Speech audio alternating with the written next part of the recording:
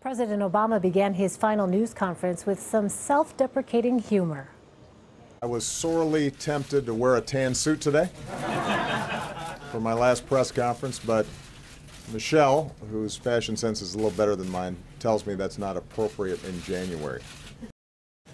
The president got mixed reviews from the fashion world when he wore tan to a 2014 news conference, but in his defense, that appearance was during the summer.